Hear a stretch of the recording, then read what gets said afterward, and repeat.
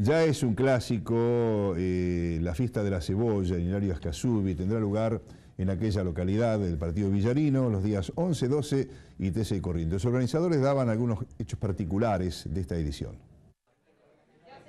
Va a tener eh, más charlas técnicas relacionadas, de, o sea, hecha por profesionales de nuestra zona para productores. Eh, el tema de la cocina gourmet, eh, después los números artísticos, tenemos que el día sábado nosotros siempre veníamos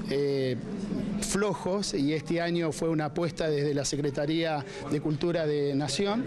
de, bueno, de traer tres números nacionales desde Cultura, así que bueno, y bueno, y el día domingo la, apuesta mayor que va a ser el cierre de, con Alejandro Lerner y con una entrada de 50 pesos eh, para la silla, aquel que la quiera adquirir y si no va a ser al polideportivo es libre y gratuito, así que todo aquel visitante aquí de Bahía Blanca y de la zona que se quiera acercar lo puede hacer libre y gratuito. A diferencia de la fiesta nacional del ajo, es la cebolla es un cultivo que hoy por hoy es el eje económico de nuestra zona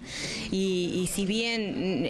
son pueblos chicos y todavía se están desarrollando, también tenemos atractivos turísticos alrededor que se suman al festejo, ¿no? Eh, emprendimientos rurales y que lo que tiene que ver con el turismo gastronómico, con el turismo rural, que va todo va de la mano y eso es un aporte que hacemos desde el municipio, siempre potenciando el, producto dentro de la fiesta, porque si no pasa que vas a la fiesta y no tenés el producto para verlo, para probarlo, digamos.